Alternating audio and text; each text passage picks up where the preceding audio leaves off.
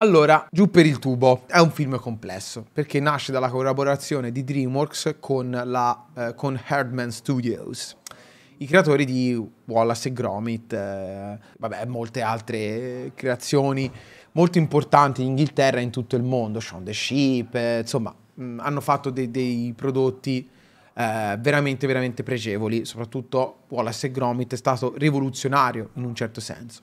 Eh, comunque con DreamWorks hanno sempre collaborato e hanno fatto anche delle produzioni molto molto interessanti. Non è questo il caso di Giù per il tubo, perché Giù per il tubo ha una grafica in CGI che si riprende l'estetica di Hardman, ma non il modo di, di, di fare di Hardman, cioè non eh, la plastilina, l'animazione in plastilina, Clay Animation che ha reso la Hardman famosa in tutto il mondo. Quindi abbiamo lo stile, il design dello studio, ma non abbiamo la stessa tecnica. Perché? Perché era un film che coinvolgeva le fogne, l'acqua, e quindi loro avevano molta paura di realizzare eh, questo film un po' per i costi, un po' appunto per questo elemento che avrebbe complicato la produzione del film e quindi hanno utilizzato l'estetica, quindi gli occhi ravvicinati dendo- e i dentoni rotondi, queste faccione tutte un po' slargate, oblunghe, ma hanno utilizzato la CGI. Il risultato, a mio parere, è una roba molto plasticosa, un po' troppo finta, un po' troppo fredda rispetto invece alla, a quel tocco eh, un po' old fashion della plastilina, che comunque old fashion una sega per quanto riguarda l'Hardman, perché se vedete Pirati o guardate anche l'ultimo, che non è un capolavoro, ma comunque è un film che si può guardare, i primitivi, eh, insomma, ormai l'Hardman ha raggiunto un livello tale con la Clay Animation che difficilmente può farsi bagnare il naso dagli altri studi concorrenti, anche se ci sono studi concorrenti con la Clay Animation che veramente spaccano, come Laika per esempio, e che eh, hanno raggiunto un livello molto alto. Fatto sta che Giù per il tubo purtroppo non fa parte dei grandi lavori usciti dall'Hardman e non è nemmeno un grande lavoro uscito dalla DreamWorks perché a livello narrativo è una classica storia senza particolari guizzi creativi e colpi di scena o eh, idee che ti fanno gridare al miracolo, anzi. Sta cosa che lui va appunto giù per il tubo e si trova in questo mondo delle fogne con tutta la sua realtà, insomma non, a me non ha mai stupito, non ha mai appassionato, anzi mi ha parecchio fatto sonnecchiare come film. Quindi, guarda, mm, io non lo metterei in D secondo me. E, passa la paura. Megamind. Allora, il mio rapporto con Megamind è molto complesso. È molto divertente, molto furbo anche, però più che altro divertente. Mi ha fatto ridere, ci sono delle stronzate veramente niente male. Mi piacciono sempre film d'animazione che approfondiscono un cattivo eh, rispetto all'eroe. Anzi, apprezzo ancora di più il fatto di rendere cattivi o controversi i personaggi che dovrebbero essere positivi su schermo. L'unica cosa che non mi è mai piaciuta di Megamind è la sua estetica. La sua estetica che ricorda un po' il fumetto degli anni 50, eh, soprattutto quello della DC, ma anche il fumetto fantascientifico di serie B degli anni 50, nonostante in altri ambiti, in altre pellicole, in altri fumetti l'abbia apprezzato, qua l'ho trovato un po' troppo, non lo so, un po' troppo caricaturale, un po' troppo... Preferisco i tratti un po' più dolci, se devi crearmi questi tratti appunto allungati, un po' distorti, con questi occhioni strambi, eccetera, preferisco magari quando lo si fa, quando si spinge l'acceleratore per davvero, magari come la fa l'Hardman. Quindi lo metto in A. Kung Fu Panda ragazzi, guarda, mh, mm, qui passa, anzi, guarda, guarda, Kung Fu Panda 1 lo metto in A, ma semplicemente perché devo mettere in S alcuni dei suoi sequel. Vi spiego perché lo metto solo in A, ragazzi, perché c'è Kung Fu Panda 2. Se non fosse esistito Kung Fu Panda 2, forse l'avrei valutato diversamente. Comunque, allora partiamo dal primo. Allora, il primo è bellissimo.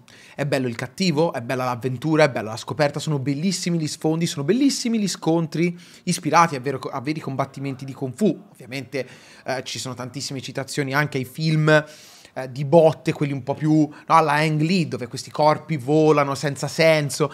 Eh, vabbè, giustamente un cartone animato, è bello che ci siano degli scontri, dei, dei, combattimenti di kung fu così surreali, perché tutto è concesso all'animazione, però sono anche molto fedeli alla realtà quando si devono prendere sul serio. Gli altri personaggi sono fantastici, è bellissimo Uguay e le lezioni che dà, sono anche lezioncine interessanti, nonostante siano gli americani che cercano di riprendere un po' la filosofia orientale, però sono bei messaggi per i ragazzi. È una bella rivalsa una bella rivalsa del personaggio, possiamo dire, no? Obeso, sottovalutato, preso per il culo, che se ne sta nel paesino tutto solo a fanzeggiare sui suoi idoli, che a un certo punto riesce a uscire fuori, riesce a far capire a tutti che, come al solito, non importa chi sei, ma le azioni che compi nella vita a farti ricordare da, da chi ti vuole bene, a farti ricordare da, dalle persone che ti circondano. E l'unica cosa che non mi porta a inserire Kung Fu Panda nella categoria S non è solo l'esistenza del suo sequel che è nettamente migliore sotto tutti i punti di vista, ma perché fondamentalmente racconta per l'ennesima volta, e non è un difettone, però racconta effettivamente per l'ennesima volta un percorso che abbiamo già visto in tantissimi film d'animazione. Anzi, in tantissimi film e basta. Nonostante appunto la qualità tecnica eccezionale, i combattimenti straordinari, l'avventura delle scene a livello registico eh, spaziali come quella dell'evasione, una scena così ragazzi è difficile girarla in qualsiasi pellicola per qualsiasi regista. Invece Osborne ce l'ha fatta ed è riuscito a creare qualcosa di veramente eccezionale. Quella scena dell'evasione sarà difficile da essere replicata qualsi- su qualsiasi fronte. Ma anche la scena del combattimento finale è eccezionale, le musiche sono spettacolari, quei colori, eh, gli allenamenti mi piacciono tantissimo, come lui riesce a capire che effettivamente può diventare il guerriero dragone cercando il cibo, il cibo in giro per la dispensa. Insomma, è veramente pieno di gag interessanti anche anche, è tutto perfetto, tutto bello. Turbo, una merda, semplicemente una merda, eh, è Cars con le macchine, sì, con le, con le lumache, una trama vista a cento altre volte, ma non c'ha così tante idee come Kung Fu Panda da farsi, da farsi andare giù questa roba. Eh, I personaggi sono insulsi, stupidissimo, non dà niente né ai grandi né ai piccini Mm, una roba perfettamente dimenticabile che DreamWorks ha creato solamente per fare cash-in e cercare di farti film magari più bellini. Complimenti Turbo, ti vai in Bio Broly. Trolls, mm, un film basato su un brand di giocattoli degli anni 90, una merda, eh, roba già vista, anche qua, idee senza senso, noiose, una regia inesistente, uh, un film solamente per vendere giocattoli e per i rincoglioni i bambini coi colori. Se, è Bio Broly. B-Movie. Questo è complicato. Uh, non è un film propriamente buono, però ha delle cose che salverei. Allora, B-Movie è un film voluto fortemente da Jerry Seinfeld che ci ha messo un po' la sua impronta, e, però ragazzi è un po' scialbo, mi ha annoiato parecchio, però mi ha interessato tantissimo il discorso sulle api. So che è strano. Diciamo che la gerarchia che si vede in B-Movie, il funzionamento della vita delle api, di come è strutturata la vita delle api, di come si comportano, i dialoghi su di questo. Cioè, non, non, mi è dispiaciuta. È una cosa che mi ha interessato e che non ho visto in altri film. È molto particolare. Come... Forse l'ho visto, ho visto una...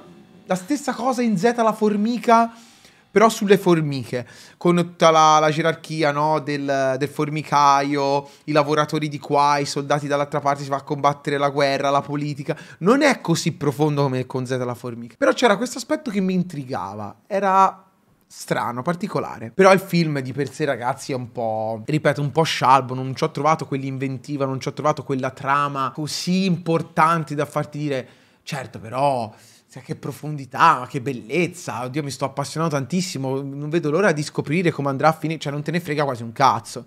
Quindi, quindi semplicemente ragazzi io lo metterei nemmeno in B. Potrei metterlo in B per il meme, ma non è da B. Ma lo metto, guarda, C, vai. Mostri contro alieni. Oddio, allora, che qua è complicato. Che DreamWorks a volte fa questi film che magari non ti piacciono, però hanno delle cose che ti fanno dire, però questa roba era interessante, ma perché? Perché? Mostri contro alieni è un film che avrebbe avuto tanto cuore, perché c'è di mezzo i kaiju, la fantascienza anche qui anni 50, quel tipo di fumetto weird che gli americani apprezzavano tanto, quei mostri che si potevano trovare nei romanzi leggeri di fantascienza, appunto, nei fumetti Weird Science che producevano negli anni 50 gli americani che poi pesantemente censurarono. Um, c'è tutto questo mondo, questa, tutto questo immaginario tipicamente americano. Uh, ma anche perché no giapponese che ti fa dire cazzo però questo era interessante poi ci sono anche tutti i disaster movie eh, che gli americani piace tanto fare con tanti soldi ma anche con due lire. Ci avevano messo tutto questo immaginario che mi piaceva tantissimo. Ho citato anche cioè, citazioni a Spielberg, varie, cioè, c'era veramente tanta fantascienza, anche alta. C'era veramente tutto in mostri contadini, però quando l'ho guardato io mi sono annoiato parecchio e soprattutto quel design io proprio ragazzi non lo sono riuscito a mandare giù. Non ce l'ho fatta. Cioè, quel cazzo di character design, anche di... Mo- io non ce l'ho fatta. Mi, mi, sembrava quasi, non ti dico horror, però mi inquietava, c'era qualcosa di strano. Era troppo weird, era brutto, non mi piaceva. E non mi sono divertito come mi aspettavo divertirmi su un film che mette sul piatto tutta questa roba. Quindi io direi... Io dico E. Forse sono un po' troppo car- cattivo, ma dico E. Kung Fu Panda 2. S. Basta, cioè non c'è nient'altro da dire. Prende tutto. Ah, ragazzi, mi emoziono solo a pensarci, cazzo. Uh, prende tutto quello che ha fatto il primo e lo potenzia a dismisura. I combattimenti sono eccezionali, la regia esplode. Il combattimento finale tra uh, Pooh e, vabbè, non vi dico chi, ma tanto è scontato, è qualcosa di incommensurabile anche perché non abbiamo una creatura molto simile ai cicloni, ma abbiamo una creatura completamente diversa dalle creature che abbiamo già visto nei precedenti film. Abbiamo questo pavone bianco che usa le cazzo di piume come lame e questo ovviamente crea dei combattimenti veramente assurdi che non mettono di mezzo solo il kung fu, ma anche dei delle tecniche stronze, delle tecniche da assassino. Po, scusate, ho detto Pu. Po, quindi De Pooh mi è venuto in mente. Po, che mette anche nel mezzo delle tecniche da assassino, quindi da cattivo stronzo vero, eh, che eh, appunto a contrasto di un'arte meravigliosa come può essere quella del kung fu, eh, e poi soprattutto c'è l'approfondimento del, backgra- del background di Poe che è stupendo perché mette ehm, sotto una nuova luce questo protagonista e ci fa capire che effettivamente la scelta di mettergli un papero come padre non è una cazzata, non è una gag, ma è più profonda di quello che vogliamo pensare. E soprattutto il passato di Poe approfondito tramite quel flashback eccezionale che scalderebbe il cuore e inquieterebbe qualsiasi generazione possibile e immaginabile, ci, ci fa arrivare a quella scena finale post combattimento che ti, ti, apre il cuore, che apre ovviamente la strada per il secondo sequel e ti fa dire, cazzo, che bomba, ho visto un film eccezionale dove Poe diventa finalmente maturo, non è solo gag ma anche un approfondimento che ce lo fa diventare più adulto, ce lo fa accettare di più, ce lo fa abbracciare, ci fa capire perché Poe è finito in quel villaggio, perché è sempre stato un outsider. E quindi è bello che abbiano tolto un pochino di gag per metterci più tristezza, anche horror, perché secondo me la scena del flashback in un certo modo può essere anche horror, comunque drammatico, inquietante, e hanno dato spazio veramente di più alla trama. Questo l'ho apprezzato. E poi ragazzi, vabbè, come lui familiarizza con la nuova tecnica, eh, quella dell'acqua, della gocciolina dell'acqua che si fa scorrere addosso, e il, il discorso appunto del, del, del, Vabbè, non vi sto a dire che cosa ha fatto il cattivo finale, però eh, diciamo collegare il passato di Poe al cattivo, perché nel primo il cattivo è una persona che Poe deve sconfiggere ma sì, la battaglia appartiene a lui, ma fino a un certo punto. Questa invece è una battaglia che lo riguarda direttamente, quindi in un certo senso Poe deve sconfiggere quel cattivo, deve arrivare alla fine del combattimento, lo deve fare anche per se stesso, quindi è veramente tutto più bello, tutto più profondo, tutto più importante da scoprire, da guardare, da amare, veramente. Oh, Rise of the Guardians, come si chiamava in italiano i cinque guardiani? No, Le Cinque Leggende. Un film sottovalutatissimo, dimenticato troppo presto. No, amelo sucate, ragazzi. Amelo sucate alla grandissima. È la mia tier list, non me ne frega un cazzo, questo va in S tranquillamente. Il miglior Babbo Natale della storia del cinema, nessuno me lo toglierà dalla testa perché io quando ho visto Babbo Natale gigantesco con l'avambracci più grossi delle micosce che ha i tatuaggi con scritto buono e cattivo, cioè godevo. Mi piace molto come i, le cinque leggende siano effettivamente eh, cinque personaggi delle leggende, comunque dei miti del folklore americano. E vabbè, non solo poi. È bello, è bello come hanno integrato i, i poteri tra di loro, è bella la storia, è un bel film ma natalizio, ma secondo me lo si può guardare anche in tutti i momenti dell'anno, scalda il cuore, è molto romantico, molto nostalgico, le scene d'azione sono fantastiche, sono bellissime tutte e cinque le leggende, eh, mi piace moltissimo il protagonista come l'hanno reso perché è più giovane, inesperto, un po' ribelle rispetto agli altri che invece sono scavati e hanno l'esperienza sulle spalle, eh, il cattivo è veramente veramente figo, anche se mi aspettavo qualcosa di più originale, invece ci hanno messo proprio quel cattivo, ma va bene lo stesso, ce la facciamo andare bene, eh, è magico come film è pieno di effettoni, è pieno di esplosioni, colori, bellezza, magia. È proprio un film che ti fa tornare bambino, ma c'ha quella maturità che te lo fa guardare anche da grande apprezzando. Le Cinque Leggende è veramente un film da vedere assolutamente a tutti i costi e che, ripeto, è stato dimenticato troppo in fretta perché aveva tantissime idee, t- tantissimi personaggi carismatici e la trama seppur lineare e semplice, regalava emozioni a Natale, a Pasqua, eh, d'estate, sempre, perché era ricco di magia, era quella magia che ti fa tornare bimbo. E mm, un plauso a Sandman che è stato tanto criticato perché sta sempre zitto e perché era solamente una macchietta, secondo me invece spaccava perché ogni volta che usava un potere mi veniva il cazzo ritto e dicevo guarda come hanno utilizzato la sabbia in maniera intelligente, guarda come sbilluccica la sabbia, sto per vomitare arcobaleni, godo, vorrei abbracciare tutto quello che esiste in questo mondo. Sì, ma porco due stai calmo, stiamo parlando di un'animazione, non eh, di Naruto. I Cruz.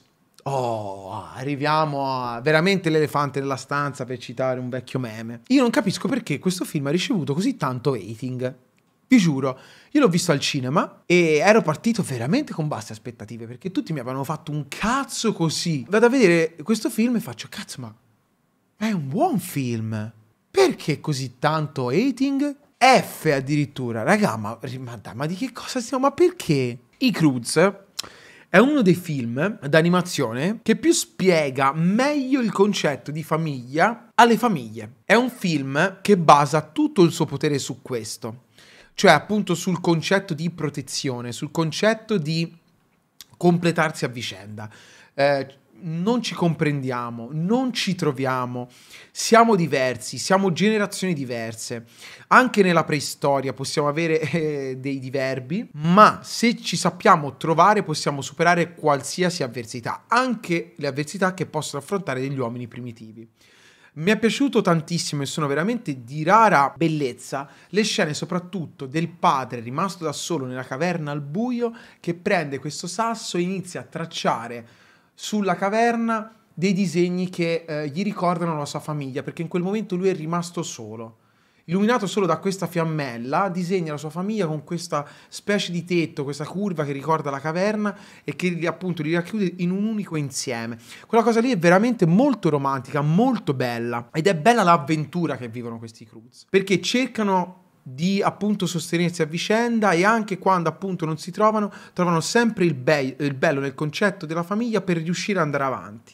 E, ripeto, superare ogni avversità. Ed è la prima volta che vedo un design così assurdo, perché comunque sono molto distorti, molto ruvidi questi tratti, molto mascellone, si tratti appunto tagliati con l'accetta, che però ci stanno perché questi sono uomini primitivi, a differenza dei mostri contro alieni dove si cercava di riprendere un certo, una certa estetica weird della fantascienza anni 50, qui siamo nella preistoria dove effettivamente gli uomini sono eh, tutti storti, tutti sfatti, non sono come noi eh, e quindi è giusto effettivamente dargli quello stile, dargli quell'impronta, dargli quel taglio, quel mood. E a me è piaciuto, a me è piaciuto parecchio. L'unico difetto grosso che gli trovo, soprattutto nel secondo tempo, è il fatto che i ritmi sono un po' troppo veloci, cioè ci sono degli eventi che accadono un po' troppo velocemente. La scena della caverna è bella, molto toccante, poetica e soprattutto se sei molto sensibile o attaccato alla famiglia e non hai litigato necessariamente ogni giorno con tuo padre e tua madre,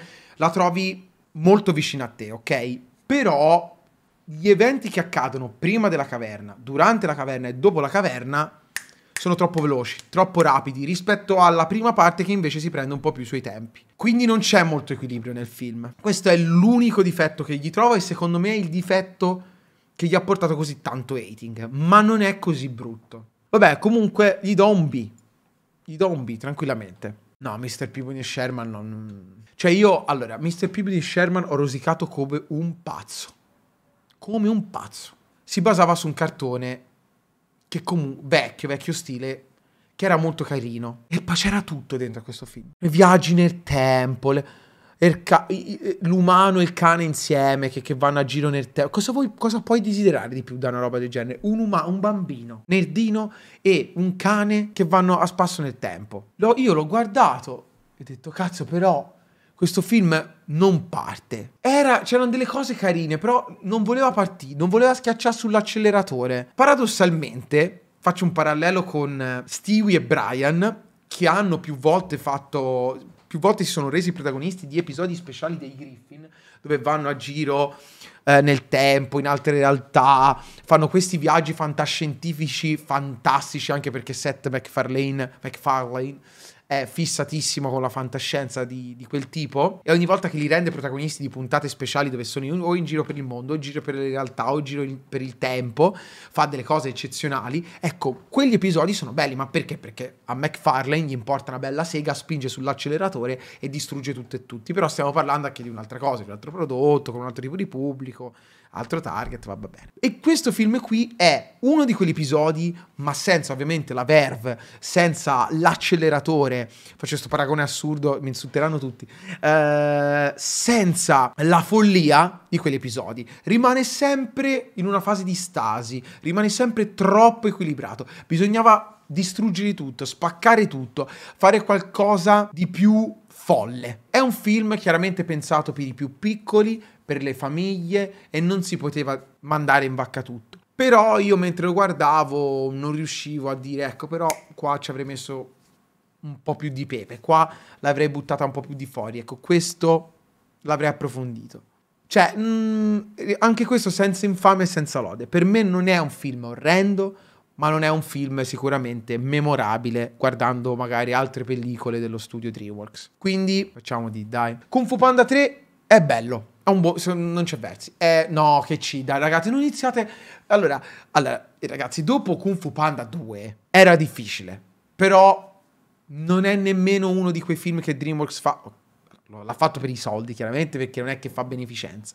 E non è nemmeno uno studio che si nasconde dietro a un dito quando vuole incassare. Ma allo stesso tempo, dopo il secondo capitolo, era necessario un terzo, ma non arriva chiaramente a livello del 2. Ma secondo me non ha niente da invidiare al primo capitolo. Chi l'ha criticato così tanto, secondo me si è fatto anche un po' influenzare dai, dai precedenti capitoli perché secondo me è un buon film. Nonostante il, uh, le gag siano esponenzialmente aumentate, perché comunque non abbiamo un solo Po, ne abbiamo migliaia e tutti sparano cazzate come Po, quindi abbiamo veramente un, una componente gaggistica, di, di, comica, chiamatela come cazzo vi pare, molto più ampia rispetto al primo e soprattutto rispetto al secondo. L'ho trovato molto carino, ho trovato gli allenamenti di gruppo molto divertenti, ma soprattutto ho trovato geniale il modo di combattere del villain di questo terzo capitolo.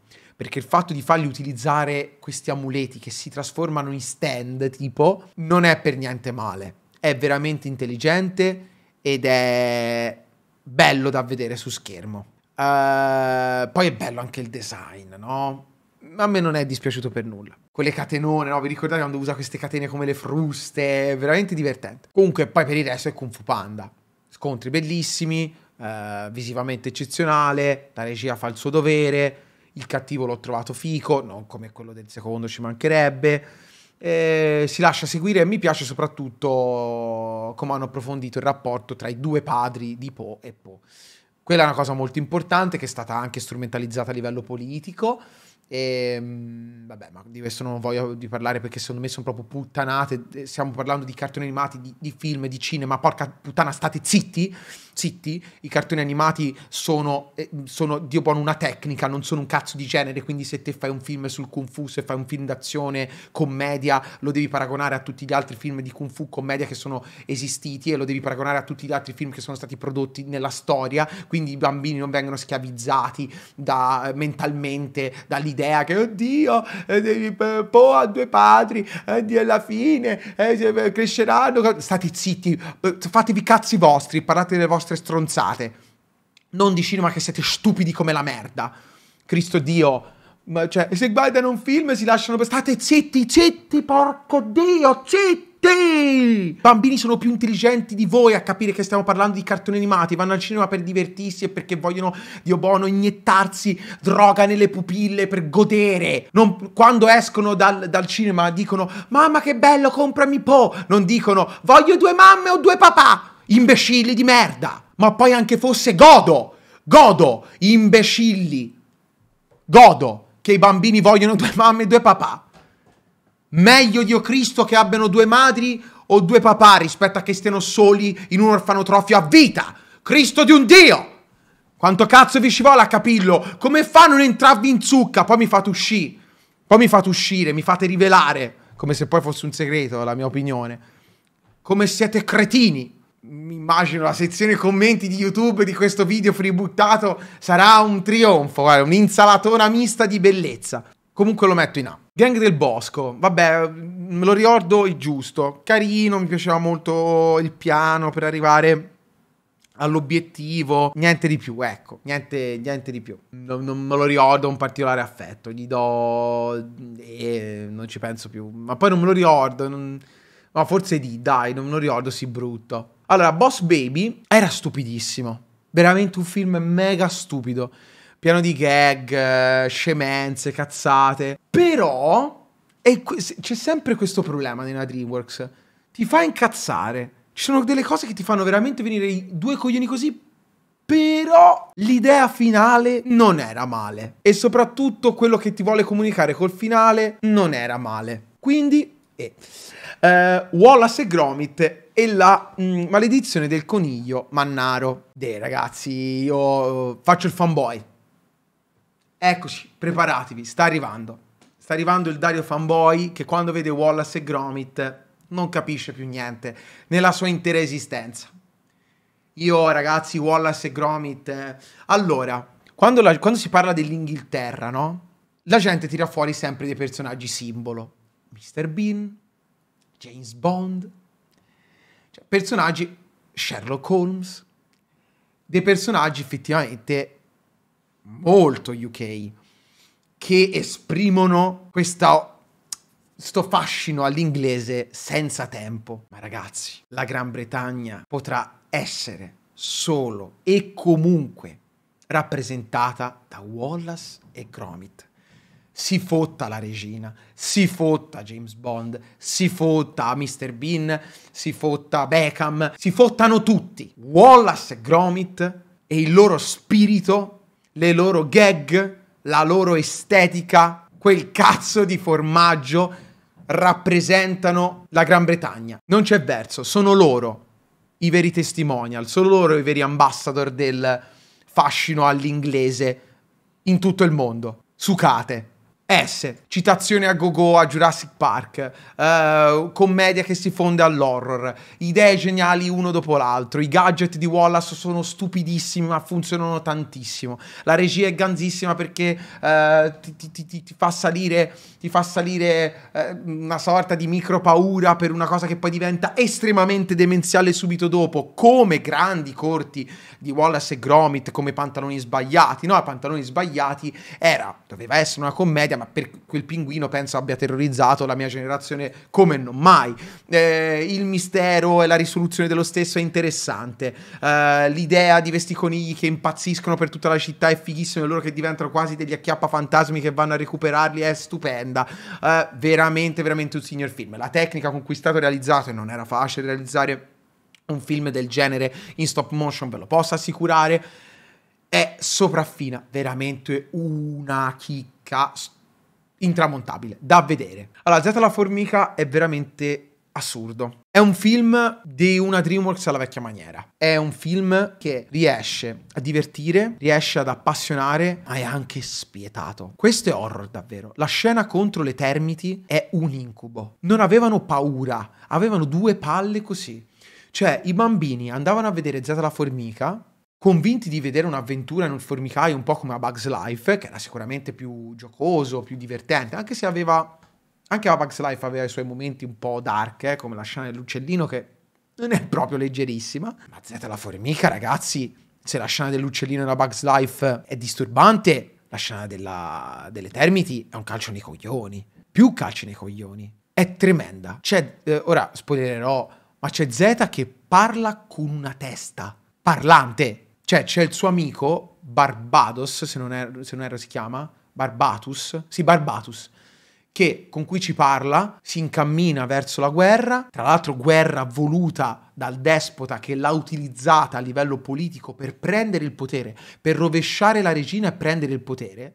Barbatus muore, tanto quasi all'inizio paradossalmente, e Zeta tira su la, terra, la testa staccata dal corpo di Barbatus per parlarci e dargli l'ultimo saluto. Ok, DreamWorks, cioè, e le Termiti, durante la guerra, io se non l'avete visto, eh, guardatelo, tanto all'inizio la guerra, cioè come arma principale le termiti hanno un acido che se cernono dalla bocca con cui sciolgono le formiche. Questa è la guerra, eh? Questo è nel film. E noi vediamo le formiche fanno uh, uh, mentre si sciolgono. Va bene, sì, con questo pezzo qui, eh, sono. Forse a distanza di anni posso dire che per me è un capolavoro Z la formica, perché oltre a queste scene horror, oltre a questo coraggio enorme, ci sono delle gag interessanti, però c'è anche... Questa è una vera critica al capitalismo. Cioè, sì la palla, che è una frase che Z eh, affronta, abbraccia, dove effettivamente le formiche si compattano tutte in una palla per poter abbattere una parete, facendosi anche del male. Praticamente diventano una palla e diventano una sorta di, di, palla da demolizioni con cui demoliscono una parete per poter ingrandire il formicaio. Formicaio che in realtà si sta estendendo in alto perché il piano malvagio del cattivo è arrivare a una sorta di stagno che li inonderebbe e porterebbe via tutto, perché lui vuole una sorta di rinascita, vuole un formicaio più potente, vuole eliminare la merda, eliminare proprio le formiche in fondo alla catena alimentare per creare un impero, cioè è proprio Hitler. Hitler, eliminare quelli che lui ritiene inutili, superflui, le formiche che ritiene superflue, per creare un, un impero fatto da formiche perfette. Chissà cosa vi ricorda questa cosa. E, ehm, o, o, altri delle dittature comuniste. E, ehm, vabbè. Comunque, questo è quanto. E quindi loro si compattano e Z fa questo, è un operaio che quando deve, si compatta con le altre formiche per formare una palla e per abbattere le pareti, e quindi deve essere una palla, sì la palla. Questa è una critica al capitalismo, cioè compattarsi tutti, non si sa bene il perché, non si sa chi è che dà gli ordini, non si sa perché quegli ordini vengono dati, qual è il grande piano del potente in cima alla catena alimentare, te devi diventare palla perché il potente ha dato l'ordine. E poi quello è il formicaio pure, è proprio una società critica, una società appunto americana deviante, alienante, che prende anche tanto da Woody Allen, tanto che Z viene doppiato da Woody Allen in quel film, quello è un film anche di Woody Allen a cartoni, perché comunque la sua impronta, le sue influenze ci sono. Tra l'altro Z doppiato da Oreste Lionello uh, in, uh, nella versione italiana, che era il doppiatore ufficiale di Woody Allen, quindi hanno fatto anche un bel lavoro da quel punto di vista lì in Italia. E, e quindi Z ovviamente anche qua cercherà di... Uh, come si può dire, anche grazie all'aiuto di esterni, un po' come in A Bugs Life, ma il film comunque, i film si sono influenzati perché c'è stata una dinamica aziendale che non vi sto a raccontare perché è veramente lunga e anche abbastanza tediosa, però si sono influenzati e copiati, più Z ha copiato, vabbè non, non sto, ripeto, a, qua a pontificare, però è che bello perché poi Z chiaramente grazie alla principessa, grazie a degli amici, grazie a dei grandi insegnamenti, riesce ovviamente a, sgo- a, mandare a fanculo il cattivo, a ripristinare la pace, bla bla bla. Guardatelo, un film di una po- importanza unica perché fare un film d'animazione dove dentro ci metti Woody Allen, ci metti una critica spietata all'America, ehm, ci metti quelle scene horror inquietantissime e lo vendi ai bambini, beh, hai avuto le palle. Lo metto in S.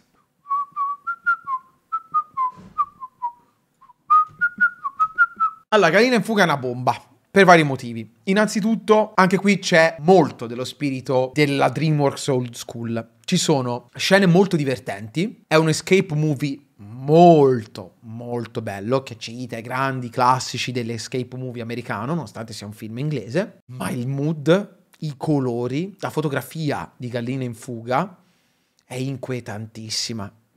Ti mette un'ansia incredibile. E quei cazzo di cancelli quei cazzo di cani quella maledetta dannatissima stronza dell'allevatrice mette veramente una paura fottuta che sembra avere gli stivali dei nazisti, peraltro. A volte ca- eh, cammina come una nazista, come un gerarca nazista che manda gli ebrei a morire, e non sto scherzando.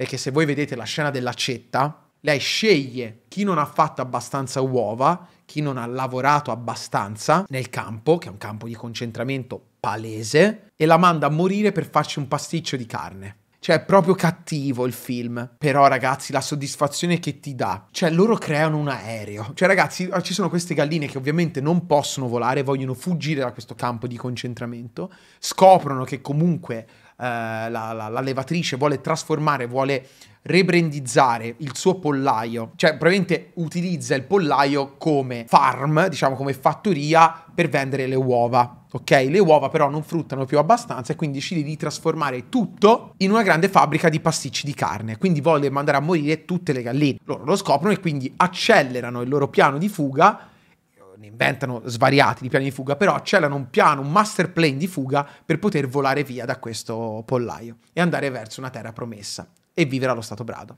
Arriva improvvisamente dal cielo questo Salvatore, Rocky, che tra l'altro viene doppiato, se non erro, da Christian De Sica, in originale da Mel Gibson, e arriva questo Rocky che vola e loro si, si, convincono che questo gallo possa volare che possa insegnarle, insegnare a, a, tutte le galline a volare. In realtà è un, un gallo da circo, lo sparano con... Eh, il, il cannone. E, ed è bello però il piano che mettono, mettono su, creano un aereo, tra l'altro un aereo in plastilina fantastico, bellissimo. E a me piacciono gli escape movie in generale. Forse ho apprezzato più di tutti i Toy Story 3 anche per quello, perché quando cercano di inventare il piano per scappare dall'asilo mi appassiono, no? Sono belli questi escape movie mi appassionano molto, cioè come ognuno ha il suo ruolo, deve andare tutto bene o va a puttane il piano, è l'ultima speranza, c'hai l'ansia che vada tutto a puttane, anche se sai che è un film d'animazione quindi andrà tutto bene. Però è bello, il design del, del, del, pollaio è incredibile, il mood è inquietantissimo, lei fa troppo spavento, il signor Tweedy è un demente, ci fa molto ridere anche se in realtà dovrebbe morire anche lui malissimo, e i personaggi sono interessanti, poi chiaramente c'è il conflitto interno di lui che se ne va, che ha raccontato una menzogna al pollaio, poi ritorna per salvare, insomma quella roba la troviamo sempre, però è splendido, epocale, e poi c'è la Hardman, è di plastilina e si butta in S, forse si meriterebbe una, ma è della Hardman, c'è quel design, c'è quegli occhi ravvicinati, c'è quella plastilina, ci sono quelle idee, c'è quel mood, c'è quella cattiveria tutta inglese, quindi vai in S e tutti muti, cazzo. Dragon Trainer, S, che, che, che devi? C'è un altro voto per... Pari, no, c'è un bimbetto che vive in un villaggio vichingo, mi pare, una cosa del genere, sì. Questo villaggio contrasta da sempre i draghi e il bimbetto trovano una soluzione facendo amicizia con la, con la razza più rara di drago e più pericolosa di drago in assoluto per rivoltare tutto il sistema e domare i draghi invece di ucciderli invece di sconfiggerli, cessando una guerra eterna tra umani e draghi. Ci sono le razze di draghi suddivise in un libro, in un almanacco per capire che potenzialità hanno e ogni drago ha un potere diverso e una cavalcata diversa quando scopriranno come cavalcarli. C'è un boss drago che li schiavizza e che li manda in attacco è, e quindi è colpa sua e non dei draghetti poverini che vengono rincoglioniti, drogati da questo qui. Cioè, cosa vuoi di più? Ci sono i draghi, ci sono, cosa vuoi? Ci sono i draghi cavalcati, domati, eh, la guerra tra draghi umani eh, i draghi rari, i draghi con potenzialità uniche, un drago gigantesco, malvagio, un kaiju che schiavizza tutti gli altri. Cosa cazzo volete di più? Una fetta di culo copinoli, roba vista e rivista. Ma suca, ma a un certo punto bisogna anche sucare nella vita, perché se non si suca si gode solo a metà. Ingoiare palle, levarsi i peli tra i denti, sucare. Le robe viste e riviste si vedono tutti i giorni al cinema, ma dipende come lo cucini il piatto. Le lasagne, quante lasagne avrai mangiato? Quando la tua nonna ti, bo- ti porta le, eh, le, lasagne a Natale che strabordano besciamella da tutti i pori, dioboni calde, belle, con ragù diobono più saporito della tua vita, l'avrà mangiata la lasagna dall'autogrill? No? Probabilmente. È sempre la, la, solita zuppa, è sempre quella roba trita e ritrita. Ma le lasagne della tua nonna saranno più buone, no, coglione? Saranno più buone, sì. Dio buono perché ci mette l'amore. C'è morta su quel. Dio buono c'ha le vene varicose che stanno per esplodere. Non ci vede più perché c'ha le cataratte distrutte. C'ha due mesi di vita. C'ha... Dio buono ce n'ha per tre cate. Due l'ha già fatte. Ma aspetta, solamente il Natale attende il nipote una volta l'anno per tutto l'anno. E ci ha messo una. Mo... Dio buono sembra un chirurgo che sta scoprendo prendo la cura per il cancro, ci sta mettendo ogni sua energia, ogni sua cellula per farti quelle lasagne lì e te gli dici, no, no, però de, trita e ritrita, le lasagne le ho già mangiate mille volte. No, ti mangi le lasagne e stai zitto, no? Comunque, allora, il 2 lo metto in A perché è molto bello, però c'è un secondo tempo che non mi ha convinto. C'è un secondo tempo, certi elementi del secondo tempo non mi hanno convinto. Ho trovato troppo sbrigativo l'evoluzione del rapporto tra il padre di Hiccup e, e un personaggio ritrovato,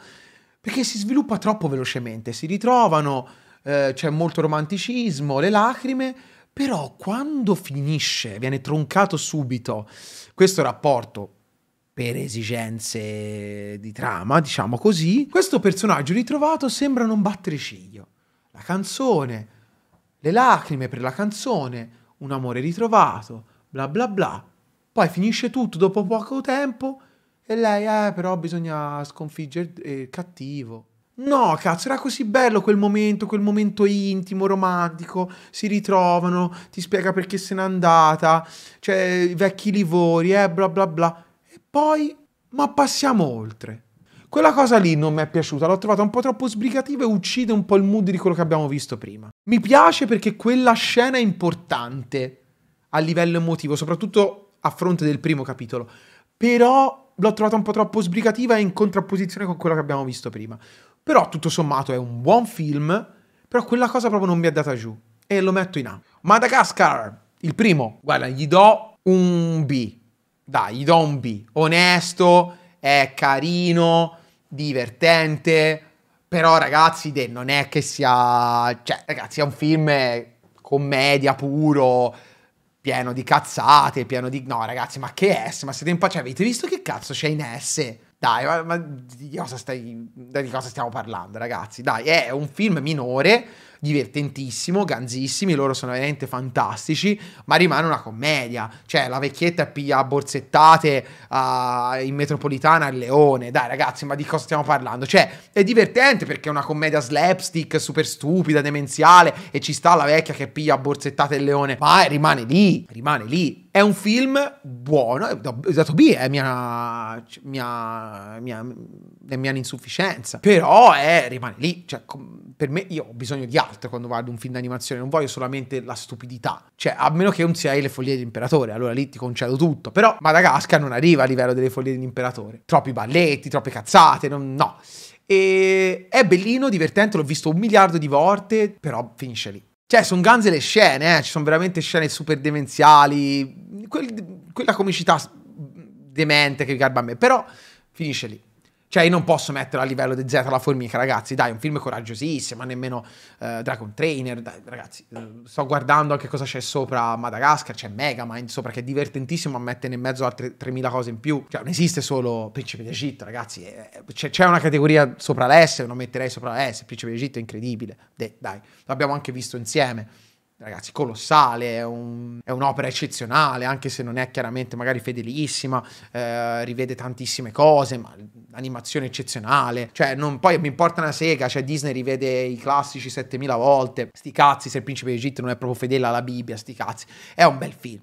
Cioè, è un bel film allucinante, pieno di idee, pieno quei colori, quella, quell'epicità inarrivabile, cioè pomposo ma al punto giusto, ma poi anche scene cattivissimi, gli schiavi presi a frustate, la scena dove buttano i bimbi, cioè lui scopre il suo passato e vede che buttano i neonati in bocca ai coccodrilli, cioè veramente spietato, però allo stesso tempo poetico, romantico, drammatico, bello, bello, i primogeniti, cioè veramente, quella, bah, insano, veramente insano. E il Dorado, cazzo, si parlava delle foglie dell'imperatore ed Eldorado è, fr- è un po' figlio di quella comicità lì, è figlio di quell'animazione lì. Ragazzi, se Madagascar era demenziale, ma non mi dava quel qualcosa in più che me lo fa mettere in A e in S e il Dorado invece ha quella comicità demenziale, quel carisma nei personaggi, quell'iconicità anche dei personaggi, ma c'ha anche degli sfondi pazzeschi, un immaginario appunto incredibile, cioè quel, quella città d'oro fantastico, quell'immaginario veramente inarrivabile, l'avventura, anche tutto il gioco degli equivoci dove loro vengono scambiati per dei, uh, poi scoprono che non sono dei, c'è il mago cattivissimo che fa sacrifici umani per sconfiggere, poi in realtà forse sono dei davvero, uh, tutto bello, poi ragazzi Miguel e Tullio sono dei personaggi incredibili che rimarranno impressi nuovamente a vita.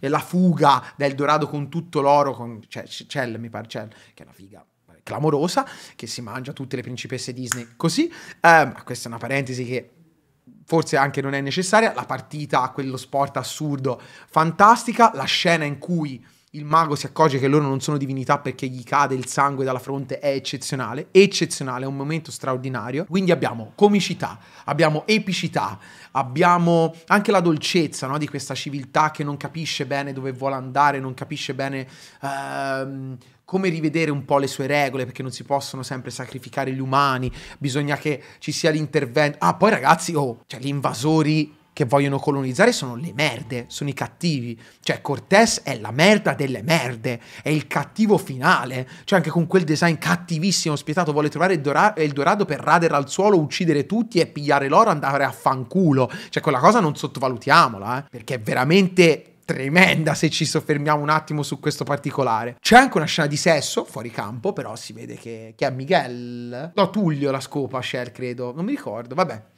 Comunque, è quasi come Frollo, sì, sì, sì, Tullio la scopa. Eh, però questo era così anche storicamente, sì, sì, infatti. Ma non è facile farlo vedere in animazione, eh? Quindi ragazzi io lo metto in S con eh, gran tranquillità. Shark Tale io l'ho trovato un po' imbarazzante, ragazzi, dico la verità. Ho apprezzato il fatto di voler metterci la mafia italo-americana, cercare di renderlo un po' anche un padrino sott'acqua, così, ma non... Boh, l'ho trovato un po' troppo demenziale, troppi vipponi, troppe, tro- troppi eh, nomi altisonanti per cercare di tirare gente al cinema, Will Smith, Angelina Jolie, ci avevano, ci avevano messo tutti dentro. No, non lo so, non, non mi è piaciuto molto, devo dire la verità. Non... L'ho trovato dimenticabile, poi c'è da fare il confronto con la ricerca di Nemo che se lo mangia cento volte, quindi no. Sì, vabbè, forse lo metto in F, guarda, non, non me lo ricordo bene, forse riguardandolo forse lo rivaluto. Non lo so, dovrei riguardarlo, è da tanto che non lo vedo. Mettiamolo in F, non ci si pensa più. Uh,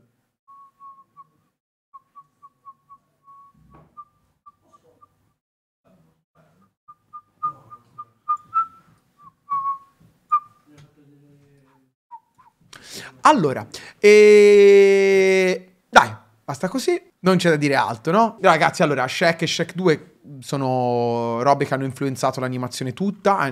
Shaq ha influenzato uh, tutto. Ha influenzato tutte le measure, ha influenzato la tecnica con cui si realizzano i film d'animazione, cioè la CGI, ha preso per il culo i film Disney che non erano ancora stati presi per il culo a questo livello. Il 2 amplia secondo me a dismisura questo concetto, però avevamo già conosciuto quei personaggi, avevamo già uh, visto praticamente tutto, però a quanto pare nel 2 non avevamo visto ancora tante cose, cioè Shrek che si trasforma in umano, Ciuchino che diventa un valoroso destriero, abbiamo sviscerato un background enorme sulla famiglia di Fiona, molto interessante, quindi niente, quindi sono, Shrek è un S perché è, era tutto nuovo. Shrek 2 non era più tutto nuovo, ma allo stesso tempo gli autori ci hanno fatto capire che si poteva dare ancora di più e soprattutto si poteva ancora di più schiacciare l'acceleratore a dismisura eh, con ancora battute più pese, robe semisessuali nel mezzo, perché quando Shrek si trasforma in umano di fronte a quelle, a quelle tre donzelle gli dicono di tutto. Principe azzurro è fantastico, tante nuove gag assurde e anche cattivo, spietato quando deve. Shrek terzo lo metto in B perché le gag non, non avevano più quella potenza dei primi due, non, non mi è piaciuto come gli altri, tutto iniziava a sapere di stantio, la gag di andare a recuperare chi era Semola, non Semola, vabbè, insomma, Artù al college, boh. Shrek 4 l'ho trovato veramente bruttino, l'ho trovato, ecco questo l'ho trovato veramente un sequel pigro, stanco, che era stato fatto per guadagnare soldi, non lo so, il, forse era affezionato, non lo so, questo lo dovrei rivedere, lo metto intanto in C, c'erano delle gag carine mi pare, però non, non lo so, lo metto in C per ora. Simbad, boh, anche questo me lo, purtroppo me lo ricordo poco, lo dovrei rivedere. Simbad non me lo ricordo, mi ricordo che c'erano delle scene niente male. Guarda, me lo, me lo, metto, lo metto, in C per sicurezza, perché non, non, lo ricordo così bene, perdonatemi. Lo rivedrò, guarda, sfrutterò l'occasione per rivedermelo. Spirit S, mi dispiace per chi non l'ha apprezzato o non l'ho visto, quindi non, non, non, lo metto nemmeno. Spirit è bellissimo, di una poetica, di una dolcezza, di un romanticismo mai visto prima. Raro che gli americani si mettano dalla parte dei nativi americani e che eh, veramente li, li renda dei personaggi positivi, buoni, paradossalmente. Eh, le musiche sono fantastiche, quegli sfondi sono da seghe perché mi ricorda mi ricordano i western di, di, classici, quelli veramente che mi hanno scaldato il cuore. E, amicizia tra uomo e animale straordinaria, forse uno dei film che la, la descrive nella miglior maniera possibile. Uh, ripeto, un film che tocca il cuore anche del più spietato e del, della persona più fredda del mondo. È stupendo, veramente un film stupendo che parla di libertà, che descrive il selvaggio in maniera perfetta. Veramente bello, un film anche di sentimento. Un film che se non vi piacciono quei film anche non è smielato, però è, insegna i sentimenti come nessuno sa fare, perché lo fa con una dolcezza, con un tatto raramente, che ho, che ho, rivisto raramente nell'animazione, veramente mainstream poi non ne parliamo. Sì, Madagascar 2 era carino, ma lo metto to in C perché comunque non era bello come, cioè non era divertente come il primo. Quello al circo lo metto in D perché no. E i pinguini lo metto in C, perché i pinguini fanno ridere sempre. Madagascar 3 forse ancora più un po', faccio così. Ta e pinguini ta. Eh, Madagascar 3 me lo ricordo veramente brutto, sì, sì. Però lo metto in E, facciamo, lo mettiamo in F e passa la paura.